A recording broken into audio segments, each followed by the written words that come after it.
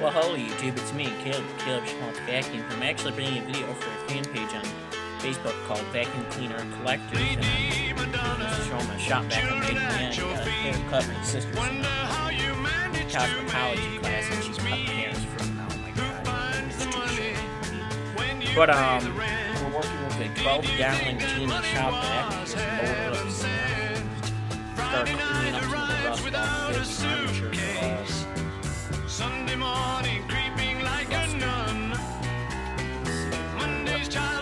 Is like I like I said before, like what I like to do. Expecting for Lady Madonna, baby at your breast. Wonders how you manage to beat the rest. but cleaned up some rust on that. Um, just white brush.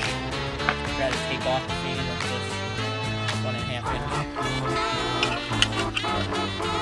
don't know, maybe you guys. No, is there a left hand or right hand? That.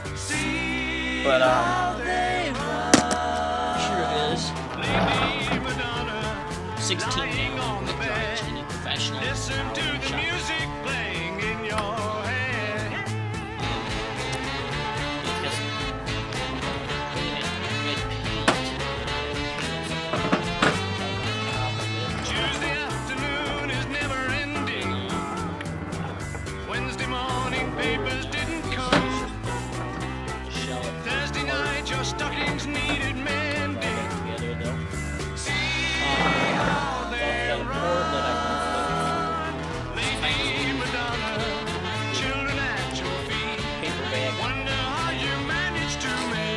I just figured I'd give you guys a sneak peek at what I've been up to lately. So, might not be some videos for a while until I get this, or maybe just some series videos. Don't know, but thanks for watching.